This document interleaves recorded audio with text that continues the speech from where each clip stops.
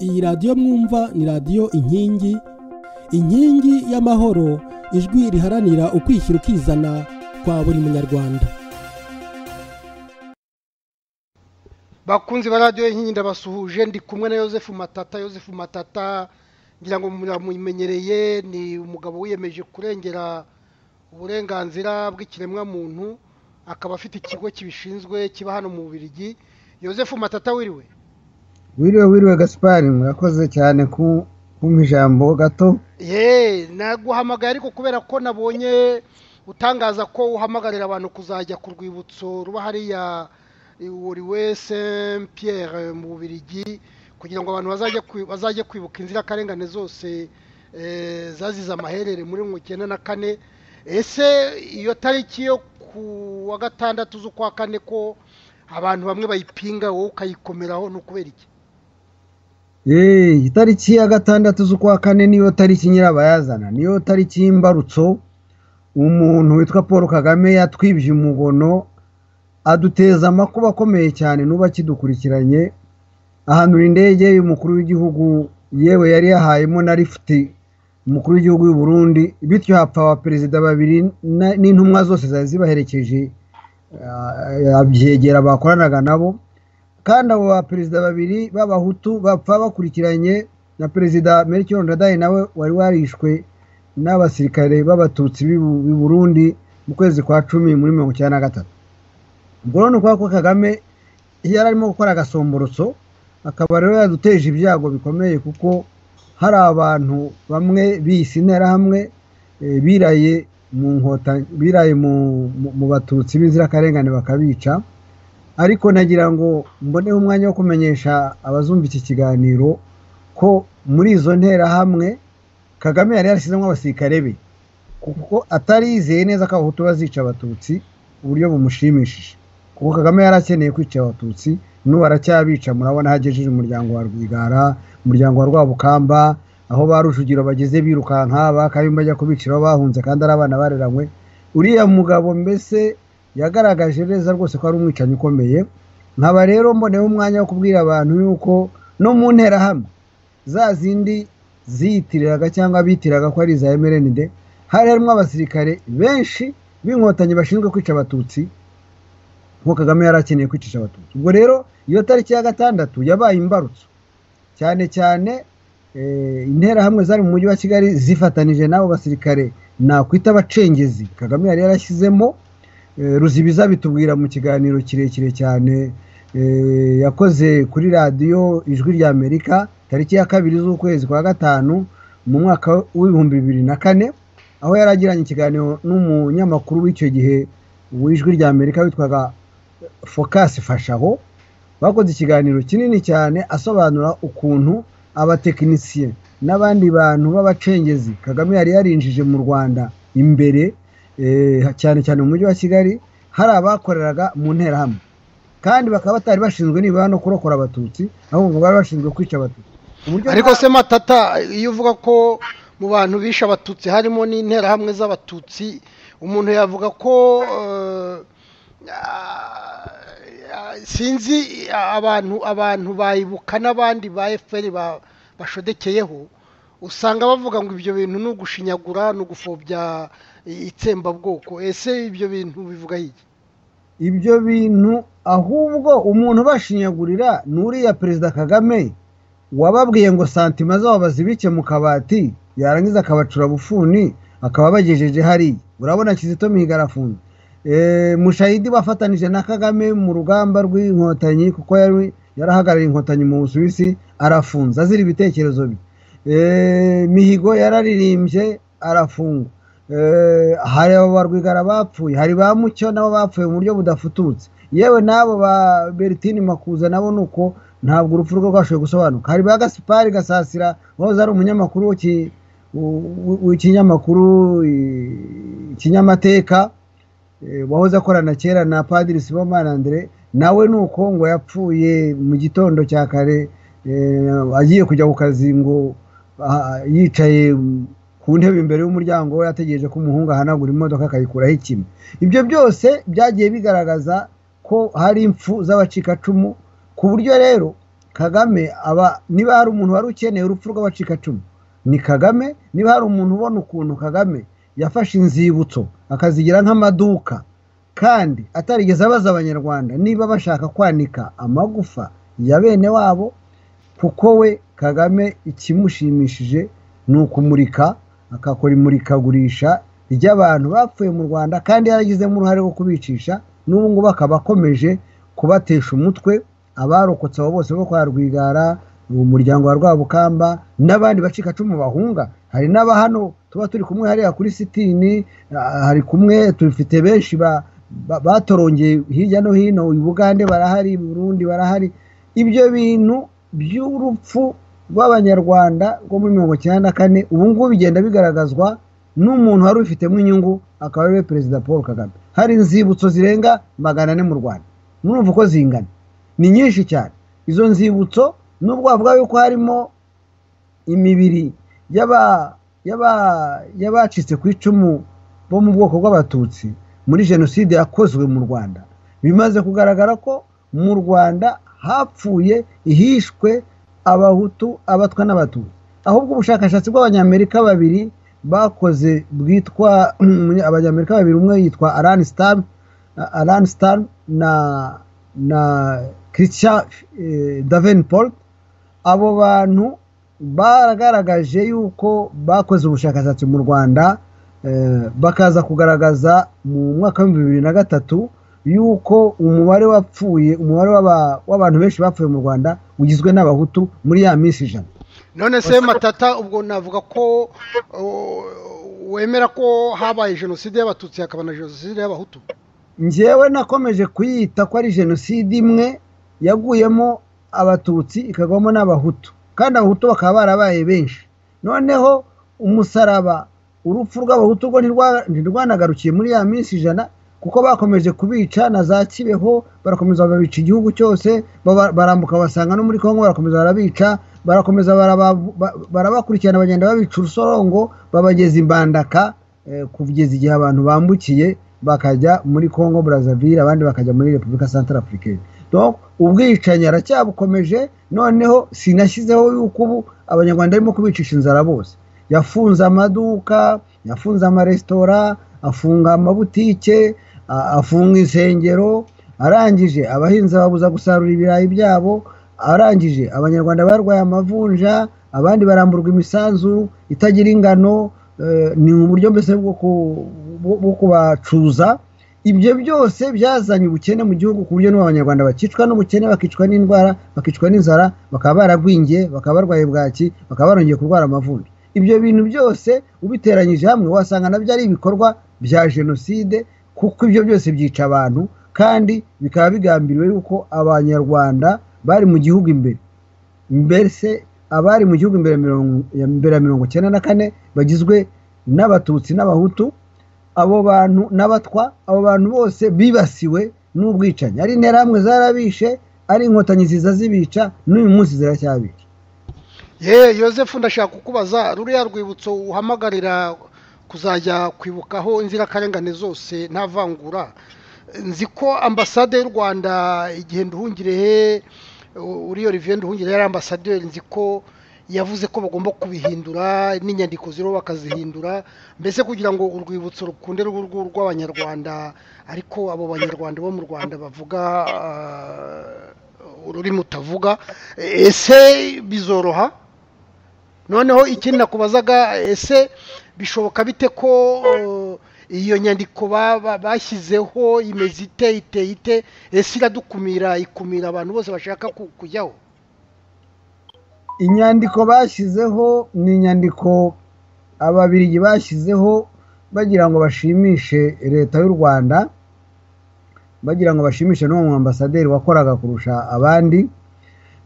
Ubwo rero bashyizeho akantu k'akabuye gato kavuga yuko hari jenoside yakorewe abatutsi mu rwanda. Ariko ibuye rinini risanzwe ry'umwimerere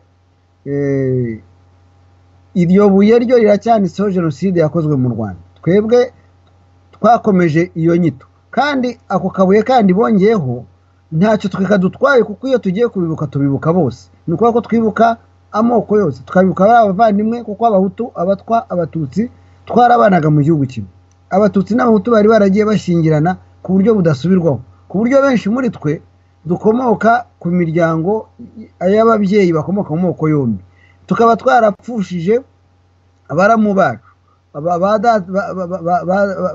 ba databukwe ba mabukwe abo bantu bose twari tuvanze twari twaragiye twunga ubumwe twaracomekeranye ku buryo kagame biriya bintu akora byo kuvangura abapfu nta bigaragaza ko adashobora no kugira icyo amarira abazima kandi umaze igihe kinini cyane wumva ku maradiyo abana b'abacikacumu babeshywe ngo barishyurirwa akenshi usanga badaheruka no guca iryera agafaranga kabagenewe.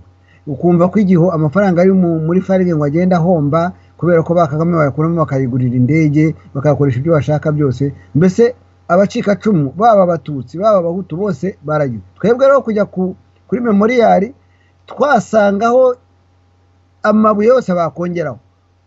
Abo bantu bose ni abavandimwe bacu. Yewe dusanze banashyizeho ibuye ry'umushinwa cyangwa ry'umujaponi nawe twamwibuka nawe ife pariti de la famille de la famille nawe ari mu muryango w'abantu ku isi kuko ubwoko bwose igihugu cyose yaba baturukamo ni umuryango w'abantu bapfa kuba bamwibuka natwe twamwibuka. Icyakora icy'ingenzi cyo ni uko twebwe inyito icyo bashyiraho cyose ntabwo rwose bishobora kutubuza kwibuka abacu bose tutabavangura. Kuko tujya kubitangira tariki ya gatandatu z'ukwezi kwa kane mu mwaka w'ibihumbi bibiri na gatanu ni bwo bwa mbere twagiye ku rwibutso tujyana isanduku imwe bita serikeye imwe tuvuga ko yose irimo peuple rwande abapfuye muri twe bakomeje bari bunze umwe nk'uko kera abakuru b'ibihugu bose bagenda bavuga ubumwe amahoro amajyambere ubu ngubu twe twakomeje kumva ko abanyarwanda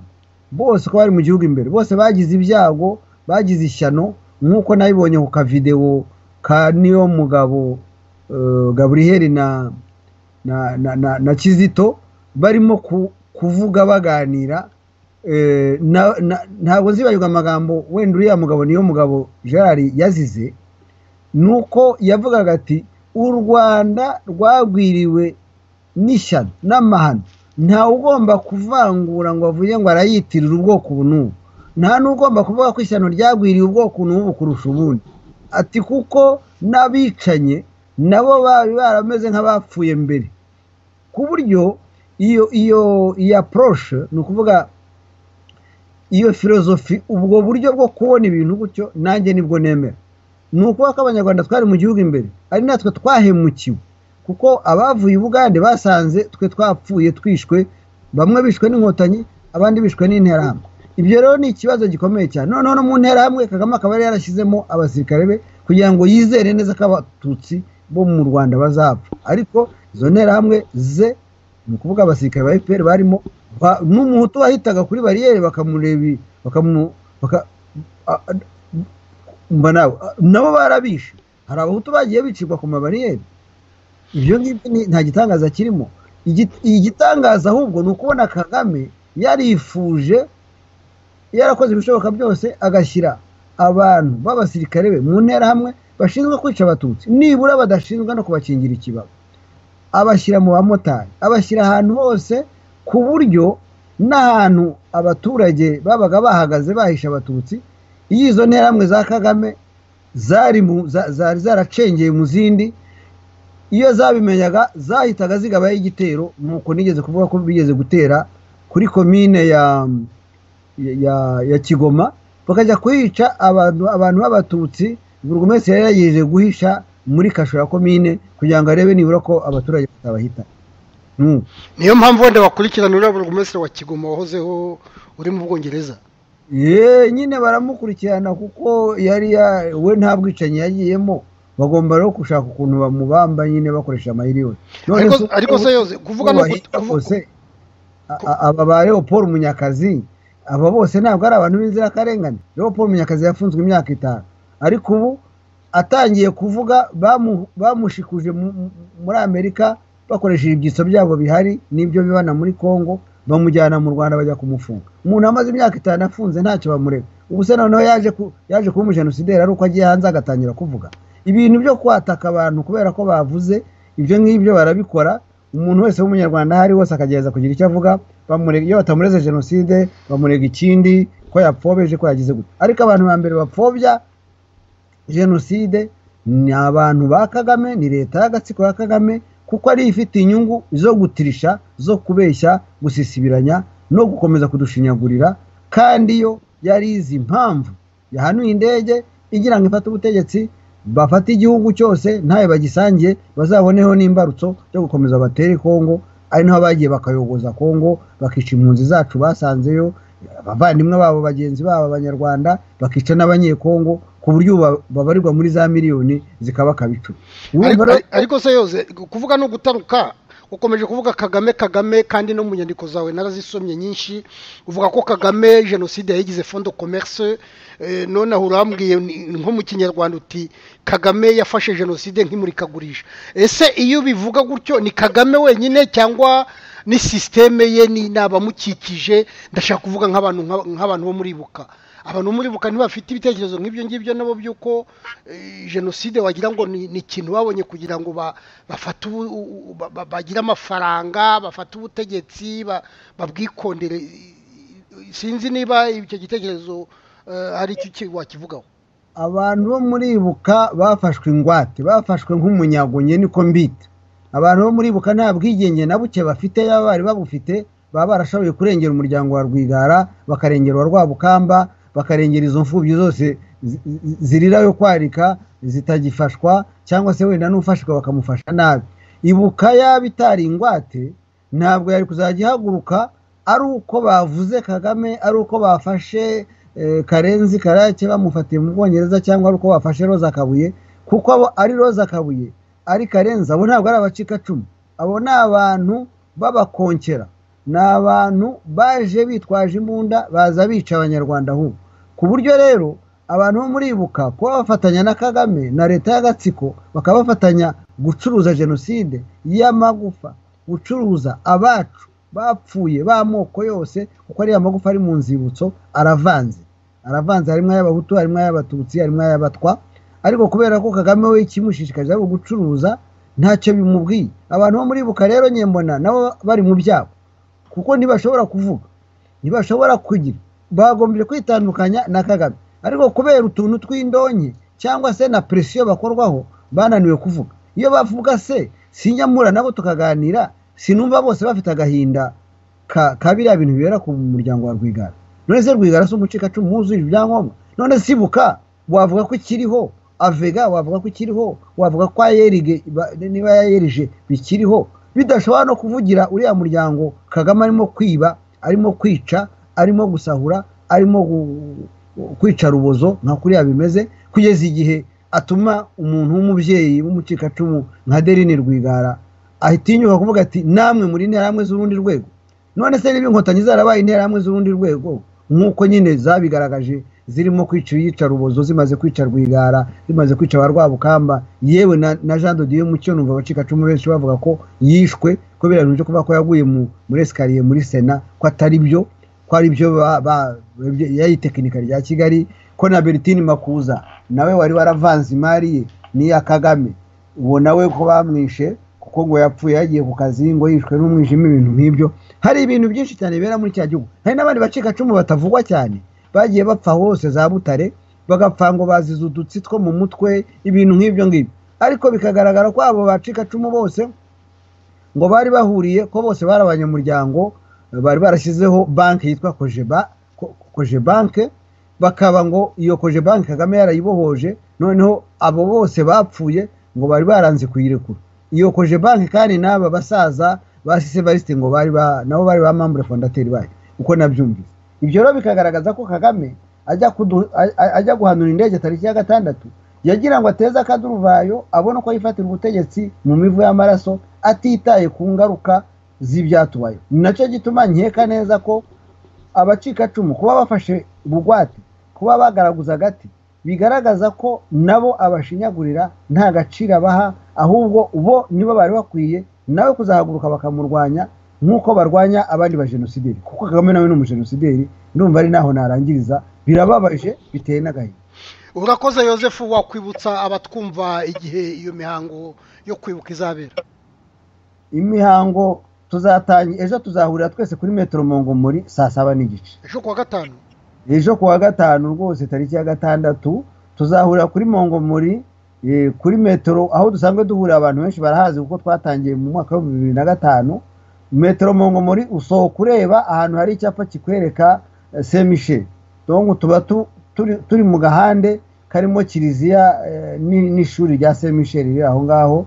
Tukazava aho ngaho tugafata umuhanda tukagenda tukajya ku rwibutso ni hafi aho gato dufite inzira abapolisi batugenera tujyamo noneho tukagenda turirimba twitwaje indabo na buji abantu bagenda baririmba indirimbo z'imana bashobora no abashobora kuzaza bitwaje amafoto y'ababo cyangwa se y'abandi bavandimwe baba bazi nabo baba baraguye barazize ubuzima bwabo hariya mu rwanda ibyo babikora rwose gusa icyo nabibutsa ni uko nitumara kuhagera icyunamo turangije kuvuga amagambo no gusengera abanyarwanda bose tutabavanguye nk'uko mu rwanda babikora twebwe rero tuzabibuka bose niturangiza gufata ijambo. Twateguye ko hari sale tuzahuriramo kugira ngo abantu bakomerezeho noneho tunaganire no kuri ya bitabo byasohotse igitabo cya marara ntabwo azaba yaje kubera ko tutabonye umwanya wo kumutumira ariko igitabo cye yagishyize ku mbuga kugira ngo tubibone. Yagize neza cyane. Hari igitabo cya judi reva judi reva nawe wa nawe wagize wagize igitekerezo akamara n'imyaka myinshi arimo gushakisha ubuhamya bugaragaza ukuntu fpr yishe abantu. Nawe igitabo cye cyarasohotse kiri mu cyongereza. Ntabwo nari nagisoma ariko nagiye menya amakuru y'abashoboye kugenda batangamo ubuhamya ubwo na cyo tuzakivugaho. Ubwo urumva rero ko dufite ibitabo bibiri yewe hari n'igitabo cyasohotse kivuga reviyorance politike cyo ntabwo twari twateganije wenda kuba twasaba sineriji yari yacyandikishije ko yazakivuga ariko ntabwo twashoboye kubona umwanya ubanza twarabuze umwanya uhagije kugira ngo tubyumvikaneho. Ariko ibyo bitabo byose abazashobora kuba barabisomye bazabituganirizaho hanyuma niragira n'abandi bantu b'ubuhamya nk'ubu hari umuntu w'umudamu wavuze ko ashaka kuzaduha ubuhamya ubwo nawe niba bikomeje ubwo nawe ejo tuzamwumva. Icyo gusa nabwira abanyarwanda ni uko kwibuka ni umugenzo ubaho. Mu rwanda kera baterekeraga ababyeyi bagiye cyangwa se abavandimwe bagiye abasigaye bakabaterekera. Natwe rero ntihazagire umuntu uvuga ngo ntiyakwibuka none se twebwe umunsi tuzitaba imana? Ntabwo tuzifuza ko abo dusize imusozi bazajya batwibuka nk'ababyeyi babo bakatwibuka nk'abavandimwe twabanye. Rwose nyamuneka abanyarwanda mureke kumva yuko bitabareba mumenye ko kwibuka ari umuhango ukomeye cyane nk'uko abantu bajya mu bukwe bakajya gushyingura abapfuye bakajya muri za aniveriseri bakajya mu bindi bibazo byose ibyo ari byo byose by'ikiriyo n'ikindi na cyo ejo muzaze dufate akanya gato tubibuke bose tutabavanguye kandi ko buri munyarwanda wese ababajwe n'uko mu rwanda bavangura abapfuye kuko imfubyi zose zinganya umuruho. Abapfakazi bose banganya umuruho. Nta muntu rero ufite uburenganzira bwo kubavangura ngo bamwe abafashe abandi abasye abogereho uburimiro. Urakoze cyane gasipari rwose guhitisha ubu butumwa. Ye ngaho rero abumva radiyo inkingi nk'uko niyo ngoma. Ejo ku wa gatanu tariki ya gatandatu y'ukwezi kwa kane saa saba kuri rompuwemo ngo muri i buruseli ni ho tuzatangira tujya kwibuka abazize amaherere muri mirongo icyenda na kane urakoze yosefu matata urakoze cyane gasipari urakoze cyane uramuke